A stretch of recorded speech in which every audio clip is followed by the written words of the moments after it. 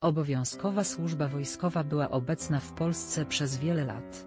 Czy sądzicie, że obecnie powinna być przywrócona? Obowiązkowa służba wojskowa została zniesiona dokładnie 10 lat temu, ale nawet teraz pojawiają się głosy sugerujące, że powinna zostać przywrócona.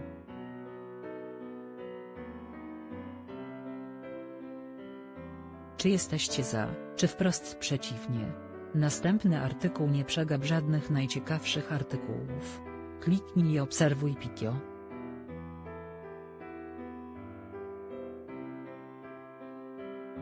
PL na Google News